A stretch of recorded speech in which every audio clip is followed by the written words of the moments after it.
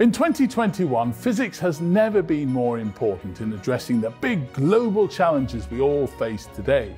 Now, APS members from academia, national laboratories, and industry are gathering virtually for the 2021 APS March meeting to communicate and explore these challenges together. And we're here to cover it all. This is APS TV. Hello and welcome to the third episode of APS TV, brought to you from the virtual 2021 APS March meeting. Now we're getting the hang of it, aren't we? And today we've even more cutting edge physics and the latest APS news for you. We'll be featuring some of the very best research in physics today from across the world, and we'll be hearing about machine learning from the Kavli Symposium. Might sound like a bit boring of an answer, Stephen, but I think it means we continue to work uh, to advance our policy priorities for the physics community. So my lecture is about uh, how quantum matter research is getting reshaped by data revolution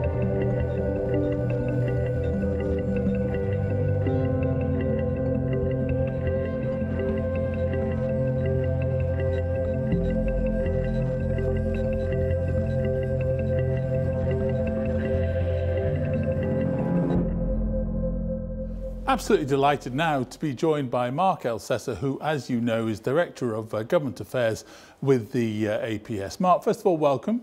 Ah, thanks for having me, Stephen. Government affairs, interesting uh, times. You've got a new president, new administration. What, what, does that mean for the APS and for you in government affairs? It might sound like a bit boring of an answer, Stephen, but I think it means we continue to work uh, to advance our policy priorities for the physics community and the scientific enterprise overall you know, we see several areas where our priorities overlap with the priorities of the Biden administration. Um, they've extended the New START treaty, which is a nuclear weapons treaty with Russia.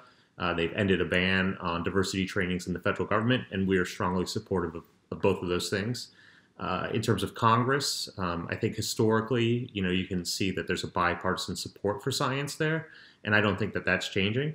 So what are what are your top priorities? One, as always, is federal R&D budgets. We're looking for immediate research relief, as well as robust increases for the science agencies and the appropriations process. Uh, next priority really is ending sexual harassment in STEM. I think that's pretty self-explanatory. We continue to work to address the liquid helium crisis. Uh, as you probably know, our members uh, see dramatic price increases in helium year over year. Yeah, one of your greatest strengths at the APS obviously is your membership. And how can the members get involved with, with, with your work?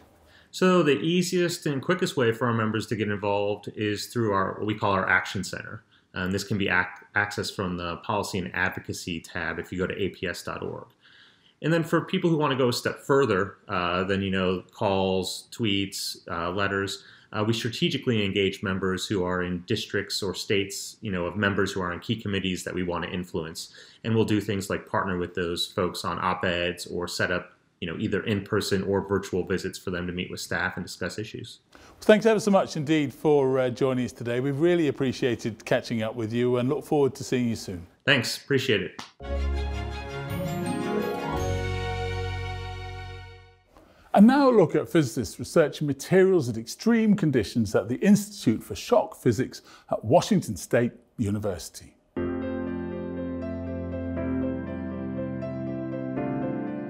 Institute for Shock Physics at Washington State University is a multidisciplinary research organization with the primary motivation of doing experimental research and analysis on understanding how materials behave under extreme thermodynamic conditions. What is unique about the shock physics program here or research program here is it's extremely broad. We do physics, we do chemistry, we do mechanical engineering, we do material science, we do geoplanetary science. There is no other program that even comes close. And students from different departments come and do their research here. And they come and study the, how materials of interest to them in these different fields behave when they're subjected to very high pressure shock waves.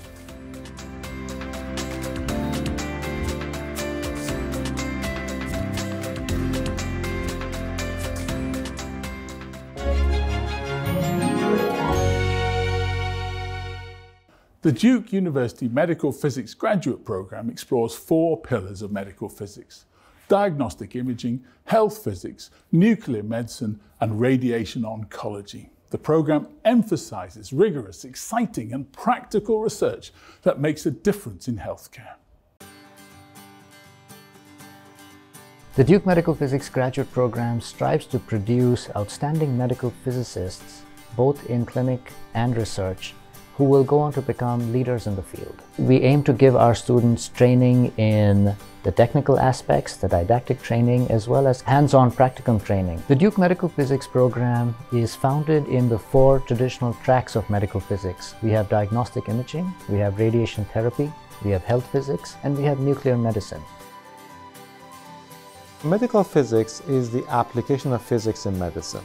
Uh, the idea is that what happens in the patients and what happens happens in the technologies that we use to care for the patient is founded on physics principles.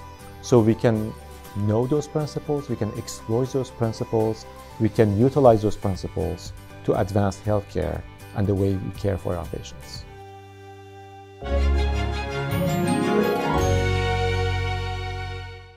The Crocker Nuclear Laboratory cyclotron has been operating for over 50 years, but it's still finding useful and exciting applications in the 21st century. In addition to the historical commitment to the treatment of uveal cancer in the eye and studying radiation effects on electronics, scientists have recently started new initiatives in isotope production, environmental studies, and accelerator instrumentation.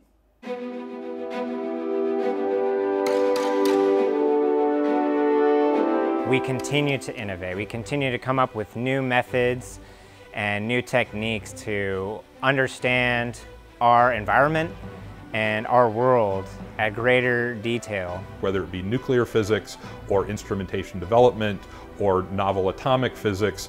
Uh, and in particular, we're interested in the educational opportunities for students and also forming partnerships in training people to use a cyclotron that would be applicable to other facilities. I'm a chemical engineer, but our lab group is mostly composed of biomedical engineers, but it's a very good collaboration between um, the engineering departments and the Department of Physics here at, at UC Davis.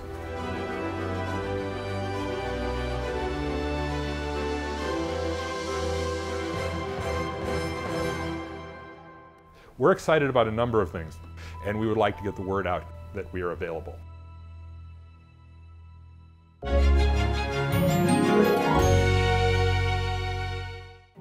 There's so much to engage with at the APS March meeting, and APS TV is bringing you all the very latest physics news and highlights from the meeting, from labs, universities, and corporations across the globe. And here's how to watch from the front page of the virtual meeting platform on a dedicated page at the APS website and on our YouTube channel and Twitter. Now to Japan and the University of Tsukuba's Plasma Research Center. Researchers there are using the world's largest tandem mirror device, Gamma 10 PDX, to study plasma physics and fusion science.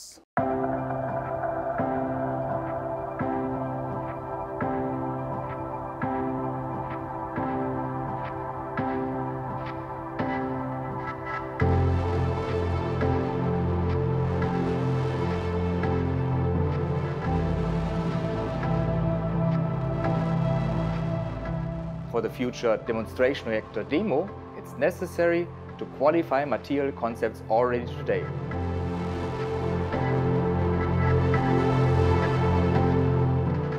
Using the world's largest tandem mirror machine Gamma 10, we have achieved high ion temperatures comparable to fusion plasma.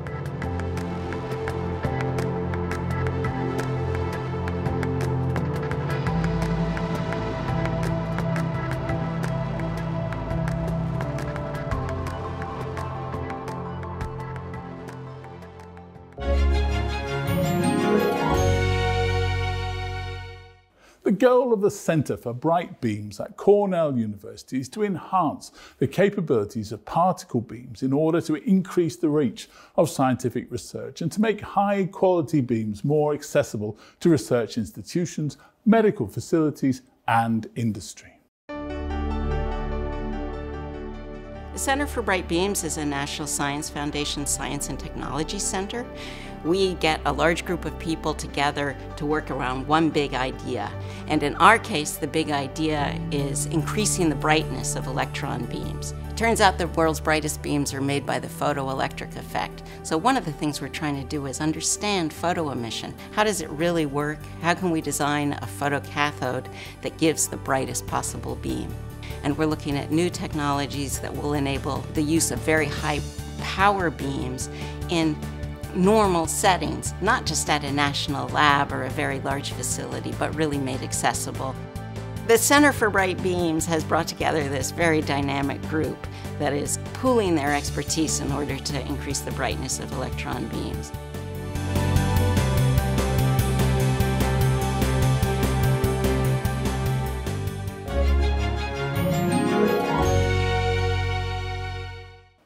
To take an inside look at the work of the Okinawa Institute of Science and Technology Graduate University, advancing new theoretical approaches to quantum matter and seeking to guide the discovery of new quantum phases. The theory of quantum matter unit is also harnessing the power of machine learning to address highly complex problems in theoretical physics.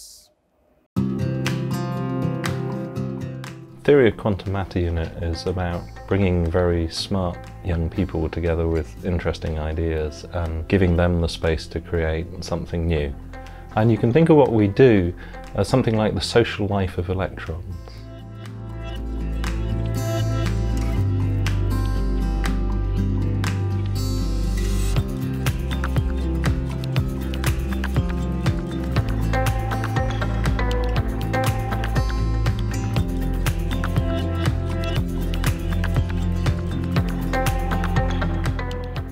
OIST has a unique mission.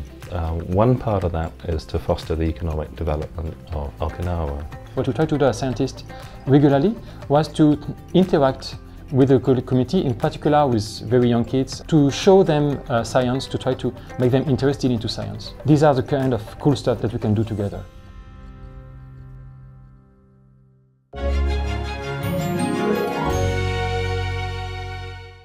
Machine learning is also the subject of this year's Kavli Symposium at APS. Eun-Ah Kim from Cornell University is discussing machine learning and quantum emergence. So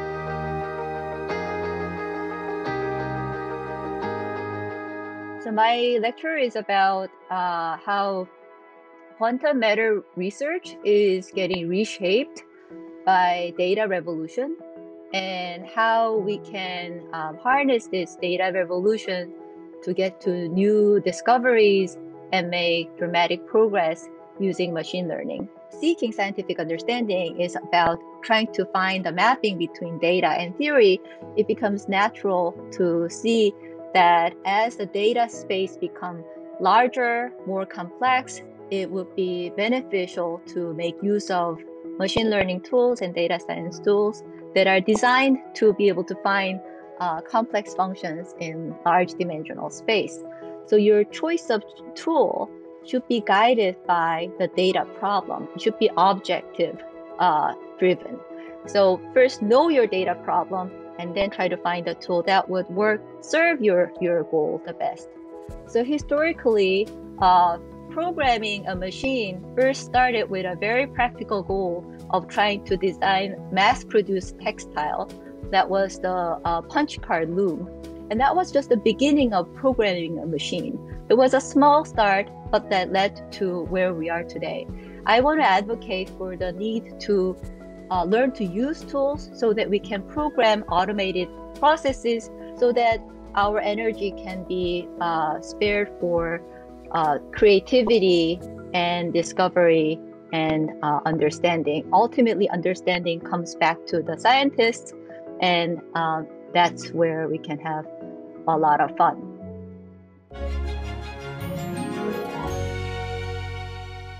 And now, UCLA's Center for Quantum Science and Engineering is a new interdisciplinary center located in the heart of Southern California's burgeoning quantum science industry.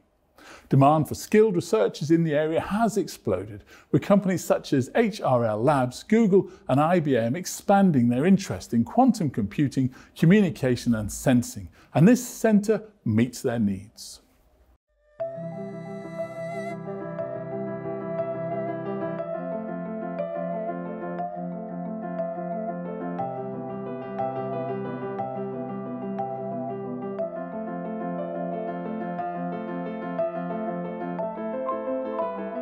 Interest in quantum science and technology has just exploded over the last several years. There are now major efforts at big companies like Microsoft and IBM and Google. There are efforts at smaller companies like HRL Laboratories, IonQ, Rigetti. So the landscape has changed dramatically, and along with that change in the landscape has been a need for people to enter the workforce in this area.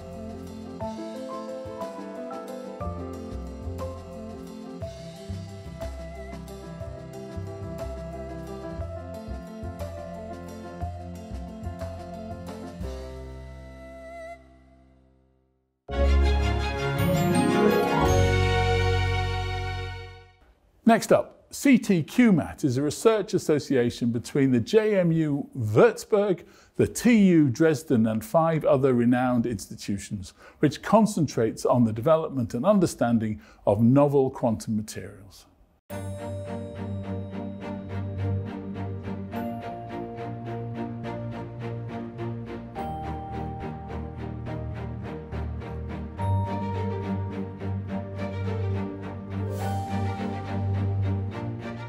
In the cluster, we explore the role of topological physics in diverse types of uh, quantum materials, from electronic materials to synthetic photonic matter. Another aspect is complexity, that is the interplay of topology and many-body interactions.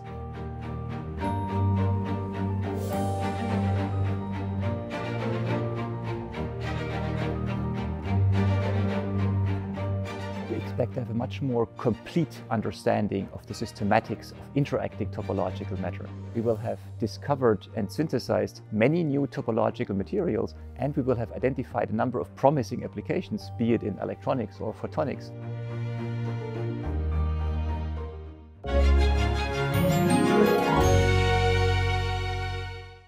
And finally, the Inter-University Accelerator Centre is the first inter-university centre in India to provide front-ranking accelerator-based experimental facilities for research for university users. Inter-University Accelerator Center is a novel concept for equitable distribution and optimal utilization of resources in the country, especially in the area of accelerator-related physics. This idea of having Inter-University Accelerator Center here in Delhi, it caters to the needs of all the researchers in the country. Research carried out at Inter-University Accelerator Center are primarily in the areas of nuclear science, material science, atomic and molecular physics, radiation biology, geochronology, and other allied areas where the accelerators are needed.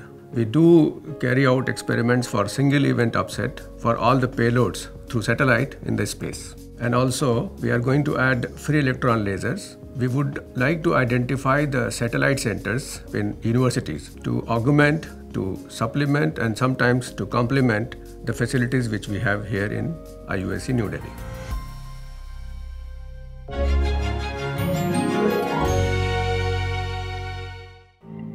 So that's it for now from our third show from the virtual 2021 APS March meeting, but we've even more lined up for you tomorrow. Join us as we look into photonics and ion beam analysis, as well as astrophysics. See you then.